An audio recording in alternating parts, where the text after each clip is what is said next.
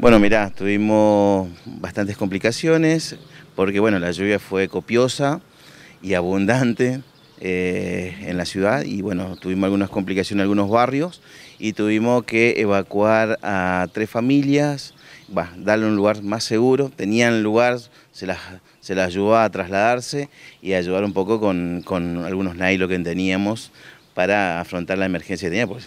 o sea, llovió mucho, muchas goteras, entró agua, tuvimos ese tipo de complicaciones. Y hubo, hubo lugares que bueno, se tapó por basura, el tema de los cuneteos, las cantarillas. Lamentablemente eso hay que ir mejorando como sociedad, de tener los días de lluvia, no sacar basura, vimos mucha basura en la calle.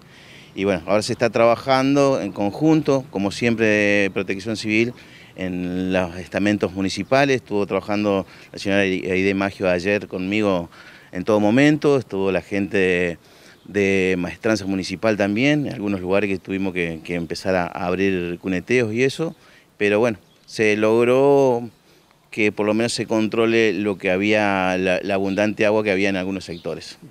¿Cuál sería la zona más afectada?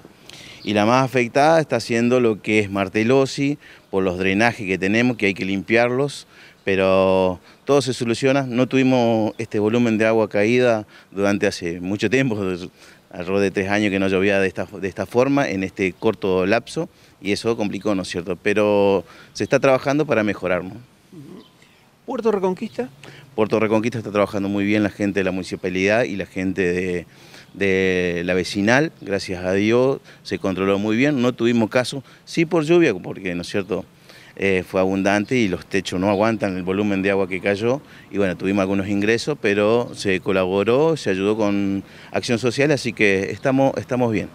decían que la gente en el puerto, que en la zona del Arenal ahí, la lluvia hizo que el agua, bueno, estar dentro de la casa. Claro, se drenó esa agua, teníamos trabajando la bomba cada tres horas, sacando ese, ese agua que, que había acumulado, ¿no es cierto? Es un anillo de protección que tiene Puerto Reconquista y donde hay que drenar el agua. tenemos tres bombas que están trabajando y eso sacamos el agua de... El más afectado, como decís, el barrio El Arenal, o el sector de Arenal del barrio Puerto, que bueno, eh, hacer arena, eh, al llover, ¿no es cierto?, acumula, acumula agua y hay que drenarla, ¿no es cierto? Teniendo en cuenta la época del año en cuanto a que se dice que puede haber más lluvia ahora en, en este mes de diciembre, digo, ¿alguna línea de trabajo, alguna nueva manera luego de estas intensas precipitaciones de trabajar? No, mira, lo que estamos haciendo ahora es chequeando todos los sectores que tuvieron problema para mejorar. el sistema de trabajo va a ser el mismo, de coordinar entre todos los estamentos municipales más la protección civil de la ciudad para afrontar este tipo de emergencia.